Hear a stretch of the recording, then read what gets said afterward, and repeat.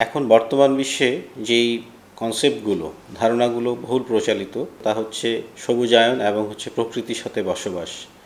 Coral reef heritage প্রকল্পটা, যেটা পাঁচ তারকা সমমানের হোটেলে দেখলাম যে এখানে এই কনসেপ্টগুলো খুব ভালোভাবে এসেছে।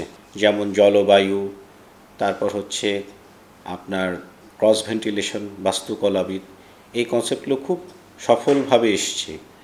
তো এটা আমাকে আকৃষ্ট করেছে এবং এটার আউটলুকটাও দেখলাম যেখানে প্রচুর পরিমাণে গ্রিন আছে, সবুজ আছে, প্রকৃতির সাথে বিল্ডিংটার মানে খুব সহ অবস্থান এবং খোলামেলা একটা রিলেশন এটা দেখে আমাকে আকৃষ্ট করেছে। এটার যে পরবর্তী প্রজেক্টটা আসলো কোরাল রিফ কর্তৃক কক্সবাজার বিচ ক্লাব তো আমি সিদ্ধান্ত নিয়ে নিলাম যে এখানেও আমি দ্রুত বিনিয়োগ করি এবং এর সাথে সম্পৃক্ত হয়ে যাই।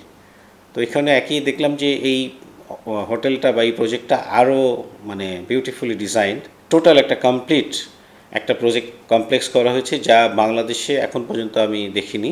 কেউ করেছে কিনা হয়তো এটা দেখে আমরা আরও উৎসাহিত হব।